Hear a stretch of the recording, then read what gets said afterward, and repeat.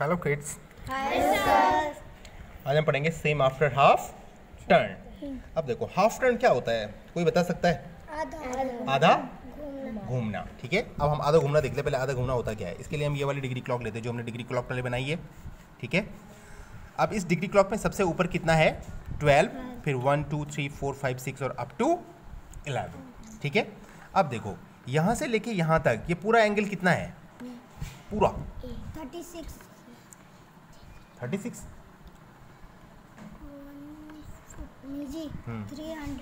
Three hundred sixty degree. और यहाँ से यहाँ तक इस लाइन पे? एक लाइन पे कितने का एंगल होता है? 180 का? 180 का एंगल होता है ठीक है? अब देखो हमने इसको कितने कितने स्लॉट्स में बांटा है? देखो one two three four five six और सिक्स ट्वेल्व ट्वेल्व है तो एक सेक्टर में मतलब जो एक सेक्टर है ट्वेल्व से वन का कितने डिग्री का होगा वो? तीस। सिंपल है? तीस तीस डिग्री के सारे ये क्या हैं? सेक्टर्स हैं जितने भी ये ट्वेल्व सेक्टर्स बने हुए हैं। अब देखो हाफ़ अ टर्न का मतलब होता है कि जब हमने किसी चीज़ को 12 से शुरू किया माना कोई चीज़ माना ये पेन है हमारी। ये अभी ऐसी है ठीक है ये ऐसी है। अब हाफ़ टर्न जब घूमेगी तो कहाँ पहुंचेगी? सिक्स पे? मतलब ऐसे घुमाएँगे हम इसको? कितने डिग्री के एंगल पे घुमाया हमने इसको? वन एटी 180 के। 180 के एंगल पे मतलब जब हम किसी भी चीज़ को घुमाएँगे तो वो हाफ़ टर्न होगा ठीक है? और माना ये पेन ऐसी थी अब हमने इसको इतना घुमाया ठीक है? इतना घुमाया तो कितने डिग्री पे घुमाया? ये कितना टर्न है? हाफ़ का भी? हाफ़ तो कितना हो गया? एक बटे चार। सिंपल है? एक बटे चार। अब देखो। Guess which of the shapes below would look the same after half a turn अब वो बोल रहे हैं ये जितनी भी चीज़ें हैं इसको आप बताओ घुमा के कि ये क्या वैसी ही दिखती हैं या अलग दिखती हैं। ठीक है? एक एक करके चेक करें। अब देखो सबसे पहले हमारे पास ये जो फिगर है वो क्या फिगर है?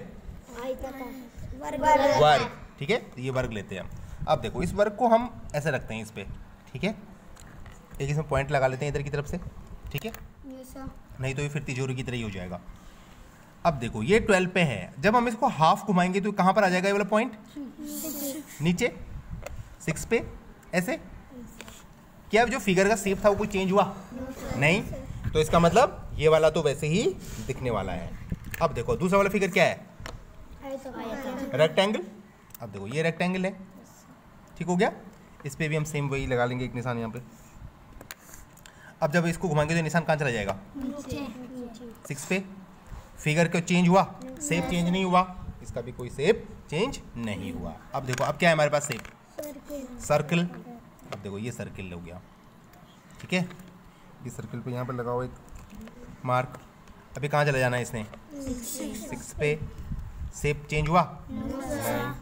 इसका मतलब ये भी चेंज नहीं होने वाला। अब देखो फिर से एक सेप है वो सेप क्या है? आयती है। वो भी। ठीक है? अब देखो ये आयत है हमारे पास। ठीक है? यहाँ एक पॉइंट इस पे एक मार्क लगेगा यहाँ पे। एक मार्क हमने लगाया। ये नीचे जाएगा सिक्स पे। ठीक है? सिक्स पे नहीं सॉरी सेवन पे। अच्छा हाँ सिक्स पे। ठीक हो गया? क्लियर है? सेप चेंज हुआ? नो अब देखो अब हमारे पास क्या है? नेक्स्ट शेप क्या है? ट्रायंगल अब देखो ये ट्रायंगल है हमारा। ये ट्रायंगल है? ये ट्रायंगल पे हमने मार्क लगाया है यहाँ।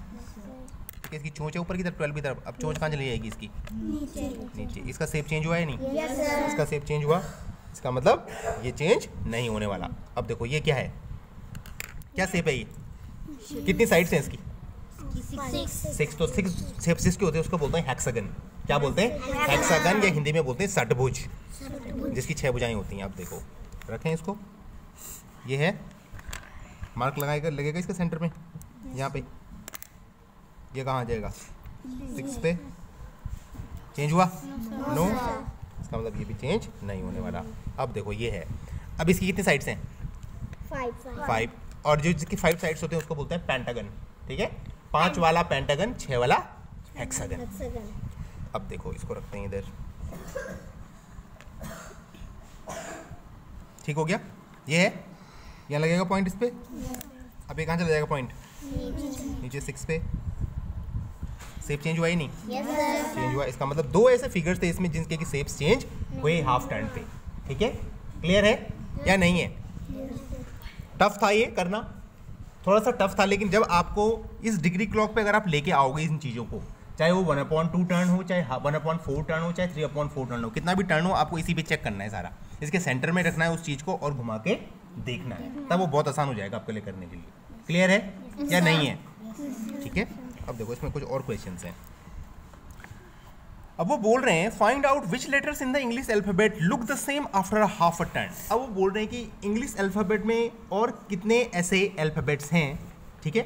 इंग्लिश अल्फाबेट्स होते हैं हमारे ए से लेके जेड तक तो आपको ये चेक करना है कि कौन से ऐसे अल्फाबेट्स हैं जो कि हाफ़ टर्न पे चेंज नहीं होंगे। ठीक है एक हम करके देखते हैं यहाँ पे फॉर एग्ज़ाम्पल ठीक है ये देखो फॉर एग्ज़ाम्पल सबसे पहले अल्फ़ाबेट क्या है? ए है ये। ठीक है दबा कर रखो बेटे। ये है ए ठीक है ऐसे रखोगे ए का जो नो को कहाँ होना चाहिए ऊपर अब कहाँ चला जाएगा ये सेप चेंज हो गया।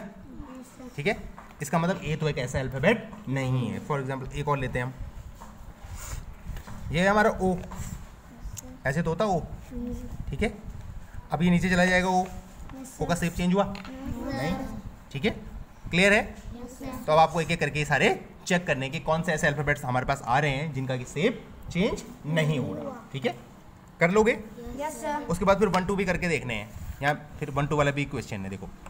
Give half a turn to the numbers from zero to nine find which of them still looks the same वो बोले ज़ीरो से नाइन तक आप नंबर्स को क्या करो एक एक करके चेक करोगे कि जो नंबर्स हैं कौन से नंबर्स चेंज हो रहे हैं हाफ़ टर्न पे और कौन से चेंज नहीं हो रहे कर लोगे? Okay yes,